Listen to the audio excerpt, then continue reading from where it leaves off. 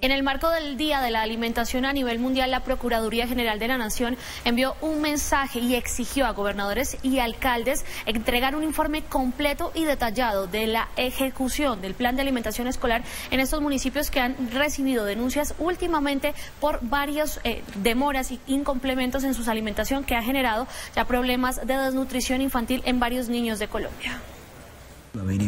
Tras las constantes denuncias e irregularidades y problemas con el suministro de alimentos a los niños y adolescentes en colegios públicos de Colombia, la Procuraduría ha solicitado a los 32 gobernadores y a 64 alcaldes de distritos y municipios para que den un informe detallado sobre la forma en que se está desarrollando el PAE.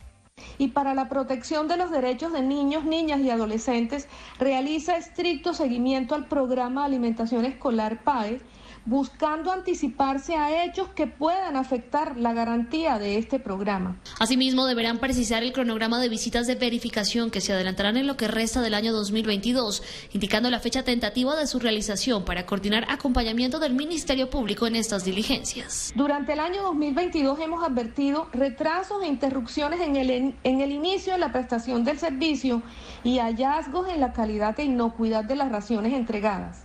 Frente a esto último,